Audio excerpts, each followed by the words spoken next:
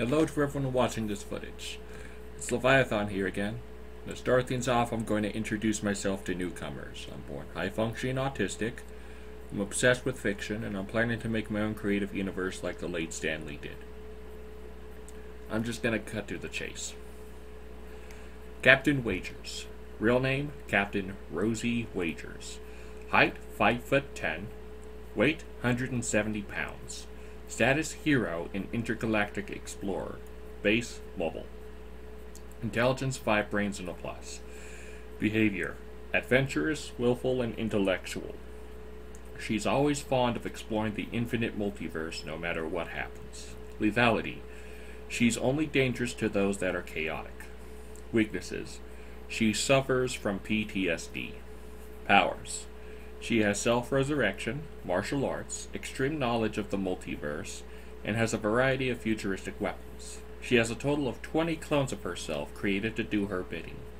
She travels in the intergalactic transporter that could fly to maximum speed, has a set of energy cannons, and can shrink to subatomic levels. She also has uncanny word usage. Eyes deep green, hair light blonde, and a short bob. Origin Captain Rosie Wagers is an intergalactic explorer destined to travel through the multiverse.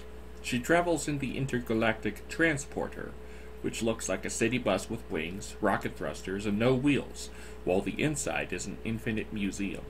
One time, Pym developed an otherworldly virus that made her unconditionally sick. Wagers then shrank down to eliminate the virus. But when the virus was attacking the intergalactic transporter, Wagers told Pym that the best way to remove the virus is to simply puke it out. She eventually did, and Wagers thanked her for doing so. She's recently traveling the multiverse, keeping her duty as an intergalactic explorer. Costume She wears a turquoise latex spacesuit.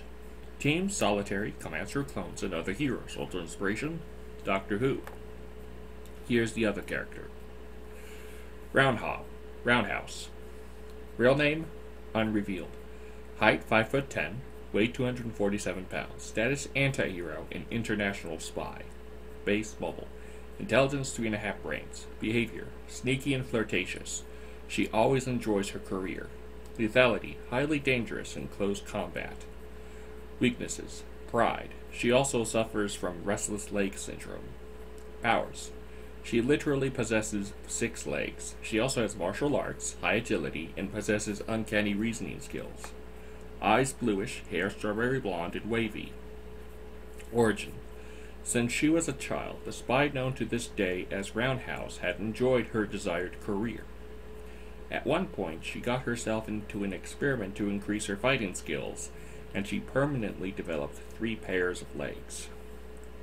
One time, she became the third person to defeat Madame Shear in a fight, but after getting help from Lady Geryon, Shear had successfully defeated Roundhouse in a rematch. Since then, Roundhouse would try not to get prideful order to keep it from becoming a problem.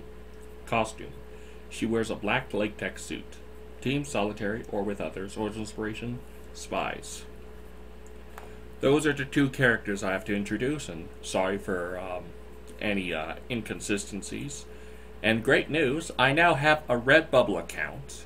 So if you guys want, you could go to Redbubble, check out Leviathan-U, and you could be able to see some merchandise that I've been making on that website. And, you know, I just hope it's worth it for you guys in terms of purchasing and such. And, you know how it is, it should help with social recognition.